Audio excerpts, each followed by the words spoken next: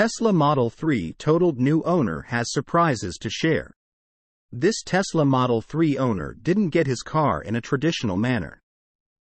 This is to say, he didn't buy it new from Tesla, and it wasn't in Tesla's new or pre owned online inventory or for sale by an individual owner on the used market. Instead, Geico was selling it after declaring it a total loss. Tesla owner Winston found the Model 3 at a wrecking yard and bought it from Geico at auction for the top bid of just $15,000. His plan was to rebuild the car himself at home in his garage.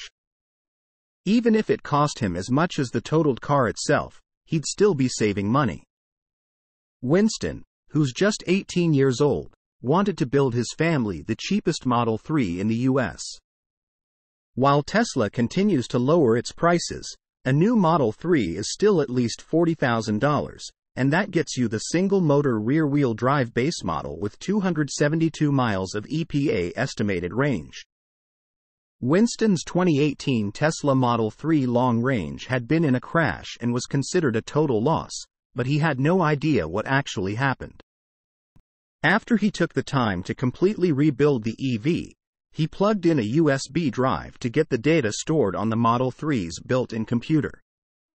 Since Tesla's vehicles have standard dash cams and the camera based Sentry Mode security system, they record footage from multiple cameras, which can be viewed later.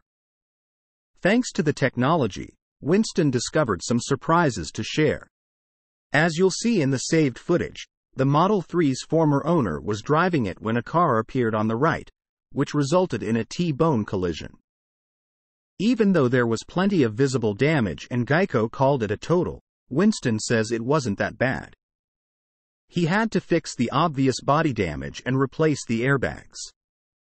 Winston spent about $9,000 on parts and $1,000 on taxes, so the total cost for the Model 3 was just $25,000, plus about three months of his time and hard work.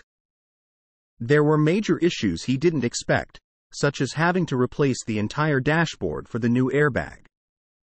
Winston learned a ton and has been a fan of YouTube channels like Rich Rebuilds for years now. He hopes to work for Tesla service, and he's already applied. Source Reposted and summarized from Steven Loveday at InsideEVs.